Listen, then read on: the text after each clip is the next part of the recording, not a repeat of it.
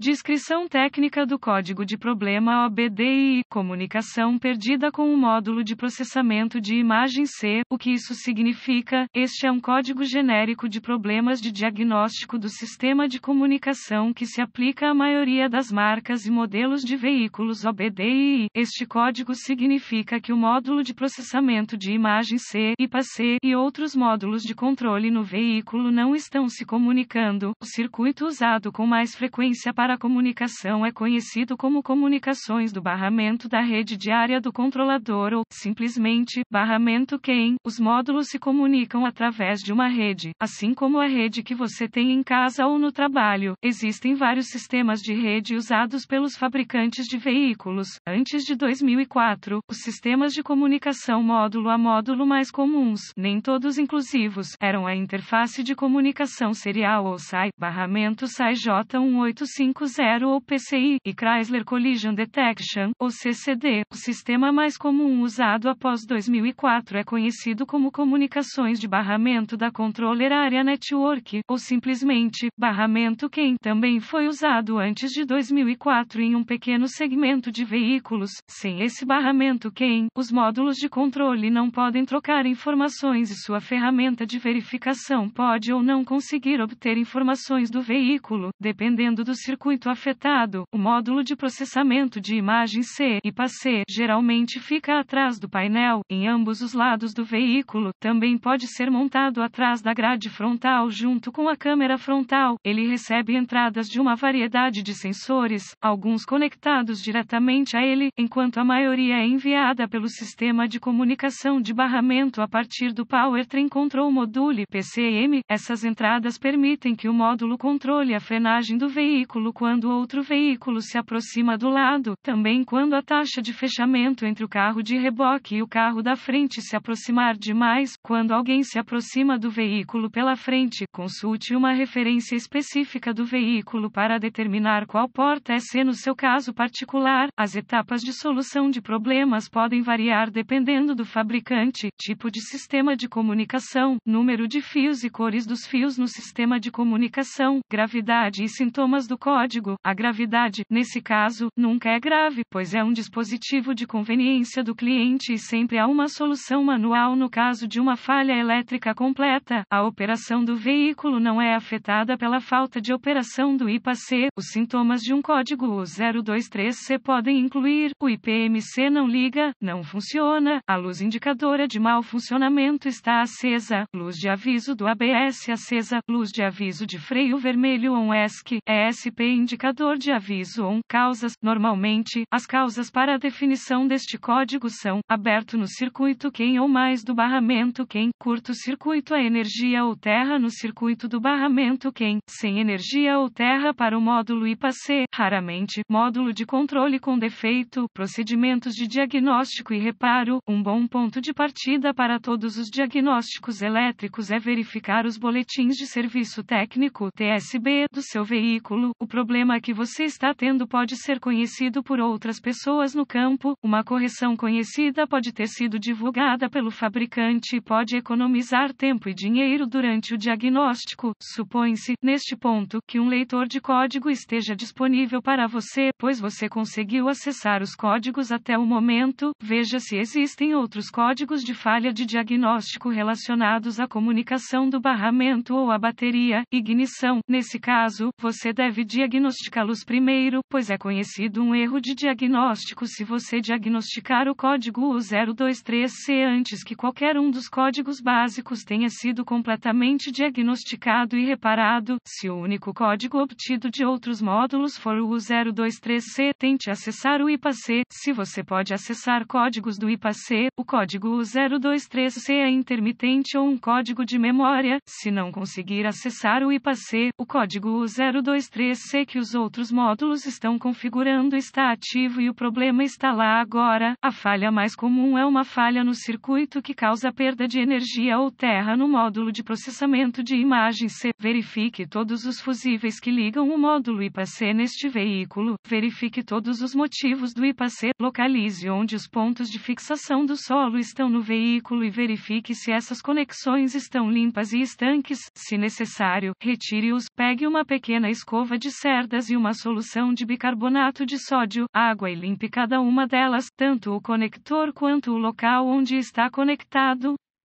Se algum reparo foi feito, limpe os códigos de problemas de diagnóstico de todos os módulos que configuram o código na memória e verifique se agora você pode se comunicar com o módulo IPA-C. Se a comunicação for restabelecida com o IPA-C, é provável que os fusíveis conexões sejam o seu problema. Se o código retornar ou a comunicação ainda não puder ser estabelecida com o módulo, localize as conexões de comunicação do barramento que em seu veículo, principalmente o conector conector IPA-C, que geralmente está localizado atrás do painel, em ambos os lados do veículo, também pode ser montado atrás da grade frontal junto com a câmera frontal. Desconecte o cabo negativo da bateria antes de desconectar o conector no IPA-C. Uma vez localizado, inspecione visualmente os conectores e a fiação. Procure raspagem, fricção, fios desencapados, manchas de queimadura ou plástico derretido. Separe os conectores e inspecione cuidadosamente os os terminais, as peças de metal dentro dos conectores, veja se eles parecem queimados ou têm uma tonalidade verde indicando corrosão. Use limpador de contato elétrico e uma escova de cerdas plásticas. Se for necessária a limpeza dos terminais, deixe secar e aplique graxa elétrica em contato com os terminais.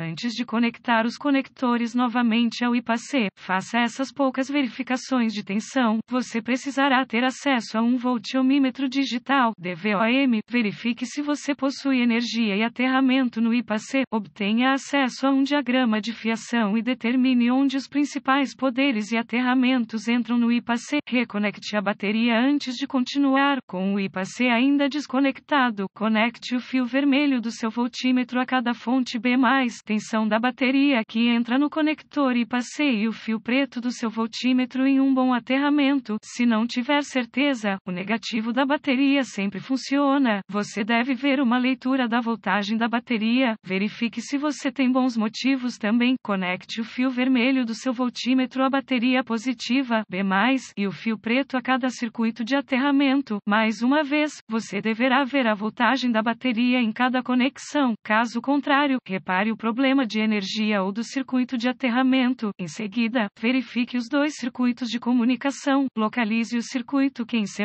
ou HSCAN+, e QC C ou HSCAN com o fio preto do seu voltímetro conectado a um bom terra, conecte o fio vermelho ao quem C+, com a chave ligada, o motor desligado, você deverá ver cerca de 2,6 volts e flutuar levemente. Em seguida, conecte o fio vermelho do voltímetro ao circuito CANC, você deverá ver aproximadamente 2,4 volts e flutuar levemente. Outros fabricantes mostram o quem a aproximadamente 0,5 volts e a chave flutuante ligada no motor desligado. Verifique as especificações do seu fabricante. Se todos os testes foram aprovados e a comunicação ainda não é possível, ou você não conseguiu limpar o código de falha do U023C, a única coisa que resta a ser feita é procurar assistência de um diagnosticador automotivo treinado, pois isso indica falha no IPAC. A maioria desses IPAC deve ser programada ou calibrada para que o veículo seja instalado corretamente